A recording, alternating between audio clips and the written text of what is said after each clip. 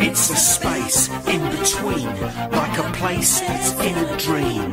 It's a nightmare you cannot escape. When you drive on the coast, road to Shoreham, then you're close to a place next door to Portslade, next door to Shoreham, uh, by the sea. This is interesting. They say right, they say yeah. When you say that you live there, they say that is very nice. My God, is that the time I really must be shooting off? There's a great big green. Where in the summer lots of blokes wear white cricket flannels. But there's all else.